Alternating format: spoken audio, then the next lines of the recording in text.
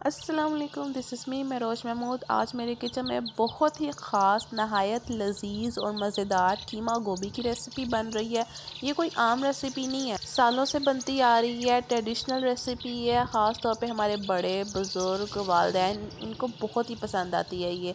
Video ज़रा से भी अच्छी लगे तो लाइक करें सब्सक्राइब करें let start our recipe check करें कितना प्यारा गोभी का फूल मुझे मिला साफ़ सुथरा, हरा भरा है शाश इसकी जो डंडी है ना, वो हम ना यूँ छुरी से ना काट लेंगे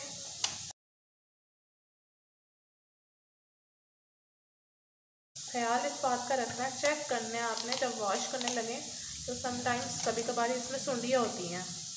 वो बस नहीं होनी चाहिए। गोभी को काटने से पहले मैंने कीमे को प्रेशर लगा के रख दिया है ताकि जितनी देर में मैं गोभी काटूं तब तक मेरा कीमा भी गल जाए। बीच में क्या क्या डाला है वो नेक्स्ट स्टेप पे देखते हैं। कुछ लोग जो होते हैं ना वो सालन में ये पत्ते उतार के फिर इसका यहाँ से ना ये छिलका उतार के ना इसको बारीक बारीक कट करके ना वो भी हांडी में डाल देते हैं। लेकिन ये चीज़ होती है ना गलने में टाइम लेती है और इसका जायका भी कुछ को पसंद होता है कुछ को नहीं पसंद होता। हमारे घर में ये कोई नहीं खाता इसलिए मैं इसको मुर्गियों को डाल दूँगी। अब इसका ये एक एक फूल तोड़ के आप इसमें ना इसको धोने के लिए बाउल में डालते जाएँ।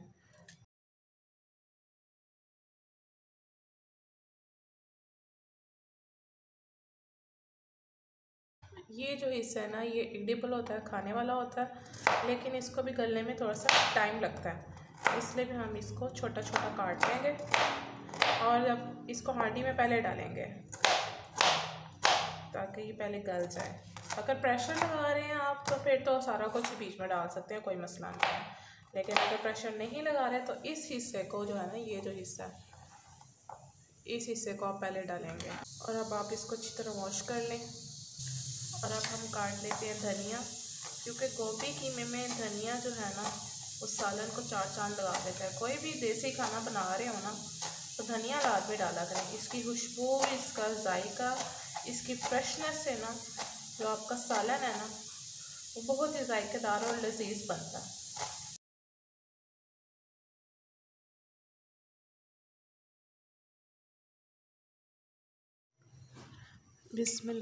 तीन पाव गोभी ली थी तो तीन पाव ही मैंने कीमा लिया। पीछे मैंने एक तेज़ पत्ता एक दालचीनी का टुकड़ा, एक बड़ी इलायची, यानी कि काली इलायची, चार मैंने लौंग लिए थे और एक चम्मच नमक एंड हाफ़ टी स्पून ही गर्म मसाले का डाला था।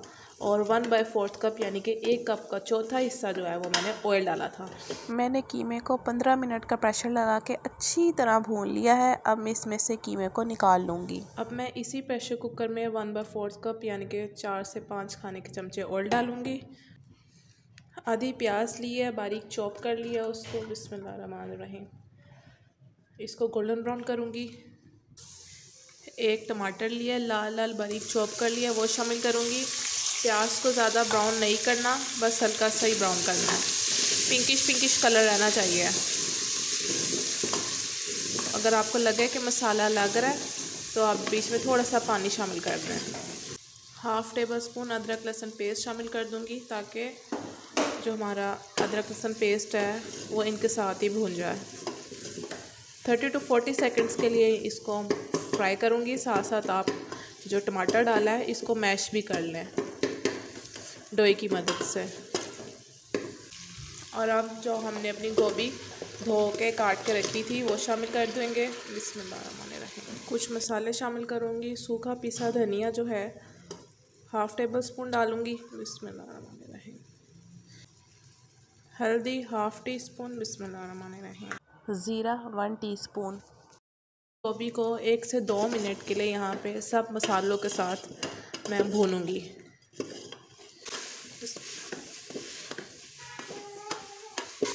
गोभी को मसालों के साथ भूनते हुए एक मिनट हो गया है। अब मैं इसमें शामिल कर दूँगी अपना कीमा। बिस्मिल्लाह इस give it a good mix. और अब आपने अपनी गोभी को गलाना है। आपकी मर्ज़ी है, चाहे आप प्रेशर लगा लें, चाहे आप दम की आँच पे इसको छोड़ दें लगा के। प्रेशर में जल्दी ही गोभी गल जाएगी और दम की आँच पे थोड़ा टाइम लगेगा। मैं इसको लगा रही हूँ प्रेशर। थोड़ा सा पानी शामिल कर रही हूँ ताकि मसाले और गोभी या कीमा जो है हमारा नीचे लगे ना। तेज़ आँच नहीं करनी प्रेशर पे आपने, हल्की आँच पे आपने इसको पाँच से दस मिनट के लिए या जितना भी ये टाइम लेती है गलने में, वो लगाना है। साइडों पर से जो मसाला लगा हुआ है, वो आपने उतार लेना है।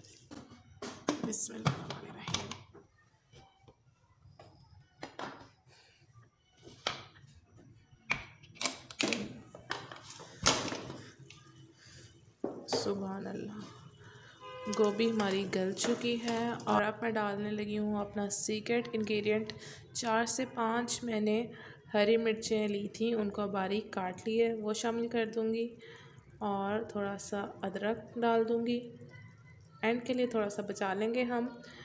आपने नोट किया होगा, मैंने कोई लाल मिर्ची पाउडर दादरी मिर्च या काली मिर्च पहले नहीं डाली थी भूनते वक्त। तो अब मैं हरी मिर्च जो है वो इसमें शामिल की है। इसके साथ जो आपकी हांडी का जायका होता ना, उसका मुकाबला कोई नहीं कर सकता। थोड़ा सा धनिया इस स्टेज पर डाल देंगे, बाकी धनिया बचा लेंगे। जब डिश आउट करेंगे, तब गार्निश कर देंगे। और ये आ गई मज़ेदार सूजी की रोटी। इसकी जो रेसिपी है वो मैं लिंक डिस्क्रिप्शन में दे दूँगी। अम्मी अबू को लाजमी टेस्ट कराइए और उनकी दवाई लीजिए। वीडियो ज़रा सी भी पसंद आए तो लाइक एंड सब्सक्राइब करके जाइएगा। मुझे दीजिए इजाज़त। टेक केयर नेक्स्ट वीडियो अला हाफिज़।